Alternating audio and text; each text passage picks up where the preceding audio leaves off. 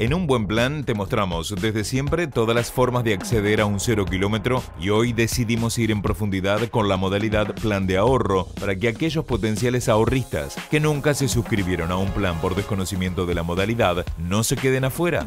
Continuamos con este paso a paso que les presentamos la semana anterior y que les sirve a muchos suscriptores que aún desconocen algunas cuestiones que hacen a la transparencia de esta manera tan argentina de comprar un vehículo.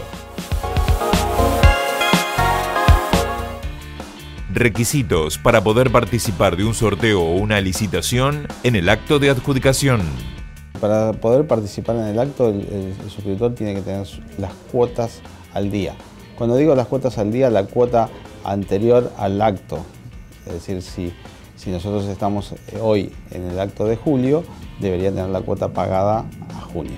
Comenzamos con todo lo que es la lectura de las ofertas, eh, eso se hace por, código de barra, básicamente cada oferta tiene un código de barra que la, identifica, identifica el grupo, identifica el orden, identifica la cantidad de cuotas, identifica la modalidad de la licitación. Tenemos dos modalidades de licitación, eh, una es a últimas cuotas y otra es a porrateo.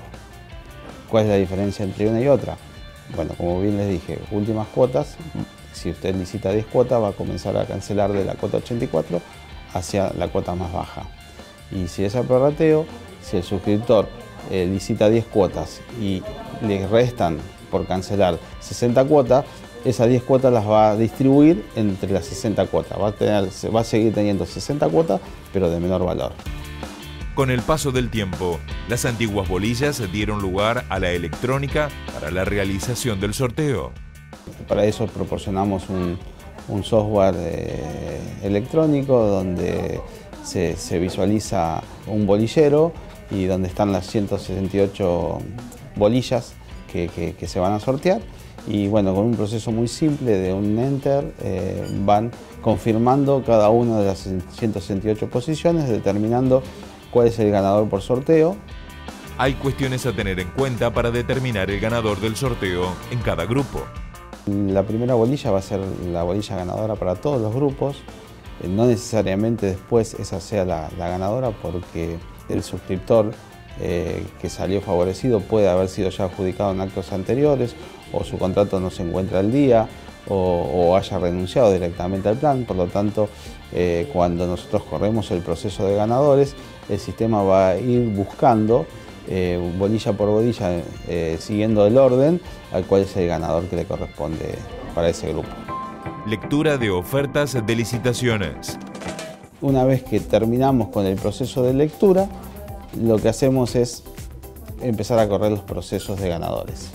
Primero ganadores por sorteo y después, una vez que tenemos cargadas todas las ofertas y chequeamos de que no hayamos omitido de leer alguna oferta, porque obviamente si tenemos 5.000 ofertas tenemos que tener 5.000 lecturas. Es decir, para eso generamos un listado, controlamos y si ya están las 5.000 ofertas, damos el, comienzo del proceso de ganadores por licitación.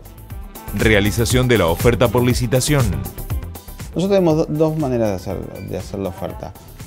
La oferta manual y la oferta por sistema.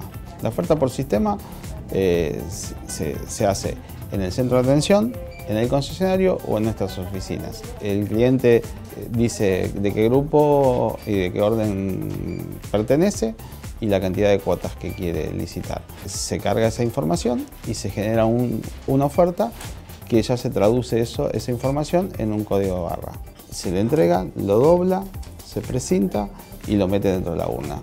Esa información no queda residente en el sistema, es una información transitoria solamente para impresión y para poder facilitarnos después la lectura, porque si no, si nosotros tuviéramos que tipear el grupo, el orden, la cantidad de cuotas y la modalidad de la licitación, eso podría eh, afectar el resultado. ¿Por qué? Porque podríamos equivocarnos. El, el, código de barra lo que hace es permitirnos y darnos la certeza de que lo que el cliente manifestó en, la, voluntad de hacer esa oferta se va a ver materializado en, el sistema después al momento de correr los ganadores. La segunda opción es la manual.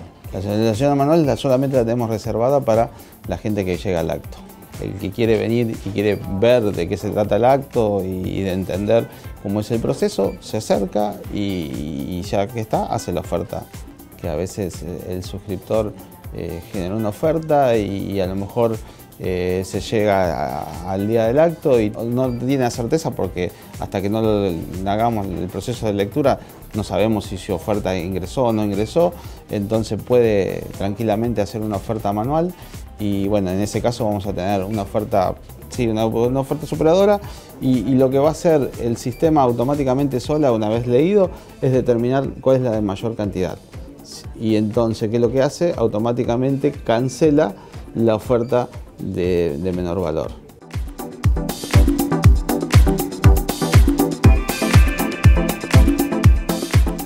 Hasta aquí nuestro segundo informe sobre los puntos más importantes que no se pueden desconocer a la hora de suscribirse a cualquier plan. Y para poder quedar expectante a la suerte del sorteo en posición de licitar en el próximo acto de adjudicación, nos queda la última parte de este informe preparado junto con los responsables de Plan Chevrolet para la próxima semana. Vaya agendándolo que usted puede ser el próximo ganador y tiene que estar preparado.